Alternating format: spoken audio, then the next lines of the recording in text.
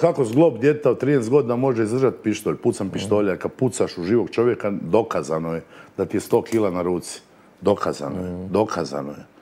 Prvo, kako dijete od 13 godina, kako mu zglob može to izdržati, to je jedno. B, pogledaj način na koji se on predao. 13 godina. On je sijao u dvorište, odložio pištolj i nazvao policiju. Pa nevjerojatno je promišljeno. Prekrižio noge. Znači, prekrižio je noge, stavio je pištolj na pola metra od sebe i čekao specijalce. On je nazvao policiju. Nakon što je, na- što je učinio to što je učinio. I sad ti uđeš u tu priču ko tele na šarena vrata, razumiješ? Znači, kako, iz koje kuta uzeti tu priču? Otac ga je vodio u streljanu, dakle, ko normalan svoje dijete, pritom je otac neki ugledni liječnik, koliko sam shvatio. Kirurg, kardiokirurg, nebitno. Znači, otac ga je vodio u streljanu. Ko normalan? Ko normalan dijete od 13 godina daje pištolj, ko normalan dijete od 13 godina vodi u streljanu da puca. Znači, kakav kompleks moraš imati da to radiš? Nikad u životu se nisi potuko ili si mali šonjo pa ste svi klepali po ušima. Koji je tvoj kompleks i tvoj problem da djetetu od 13 godina daš pištolj i da mu kažeš drži ovako, pucaj ovako? Dakle, mene zanimaju ti roditelji. Dakle, njegovi roditelji nisu ni narkodileri, nisu ni ubojice, nisu ni krijumčari e, djece.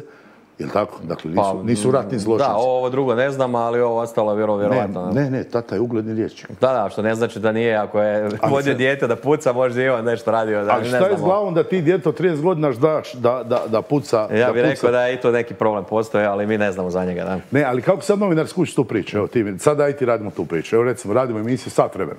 I idemo. Kako, će- koji Vrlo- kut, Pa vrlo nezgodno, vrlo nezgodno. ne, koji kut ćeš zauzeti? Vrlo nezgodno. Možda je to dijete jednostavno bolesno. Možda je taj mali... On je rekao na sudu neki dan, ja to pratim naravno, jer sam na neki način i ja malo možda se poševrdo kroz sve ove godine. On je rekao da je on bio neprihvaćen u, to- u tom društvu. Da je njegov ključni problem bio taj da njega nisu prihvatili u tom razredu. Da, dobro, to su neke dječje priče, ali opet e, ovaj ga vodio da e, puca. Znači, Tri dana iz nakon njega... pobude, iz koje ovaj pobude, Krvnik iz Mladenovca, Uroš Blažić, čovjek ubije 9 rani 13 ljudi. Znaš kome je bio uzor? Kristijan Golubović. Kao uzori su mu ovi reality zvijezde to. da, da, da. Čovjek je ubio 9 ljudi, ranio 12 ljudi u nekom selu pored Mladenovca. Razumiješ? Znači nije to bilo ni u Njujorku, ni, ni, ni, ni u Čikagu. To je bilo ludilo i taj dan je neka curica je bilo tri dana nakon izbola. Da. u školi, to je bilo, ne znam, Tri dana. najvećeg ludila ikada. Čovjek uzeo pištolj, on puca. Otac vojno lice, otac mu je časnik e, vojske Srbije. Kuš? Pa sad će me nekako konta da će sad nakon svega ovoga biti možda i teže, odnosno vama kao timu, s obzirom da i oni su tu dosta angažirani u cijeloj toj priči intervjuiranja, priči ljudima, s obzirom da su već neki gledali. S jedne strane će možda biti lakše, će biti otvorenije, a s druge strane će biti defenzivniji.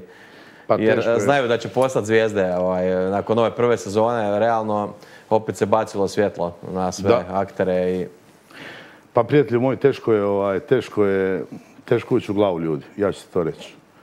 Teško ući u glavu ljudi. Meni je žao svake žrtve nevine i žao mi je svake, svake mame koja je morala pokopati svoje dijete, ali je, to su priče koje su, rekao sam ti malo prije, to je izlazak iz zone komfora.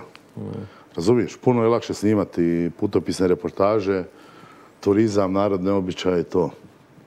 Znaš, ali neko mora raditi ovo.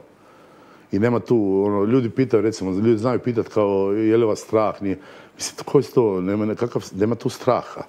Imaš potrebu ispričati nešto što se dogodilo i nešto za što ti misliš i za što je realno misli da je veliki zločin i, tu priču treba ispričati. Razumiješ? Znači, nije, to pitanje kao joj sad snimate njega, pa zašto snimaš njega, pa ima ovo, pa ima ono. Snimamo njega zato što je to takav zločin. Snimamo curu koja je nestala zato što je nestao njezin tata. Pa koliko znaš slučajeva takvih? Ajde. Da je nestao otac u ratu, pa da je nakon 25 godina, šest, nestala njegova kćer. I nikad je nisu našli. I to je ono, dogodilo se,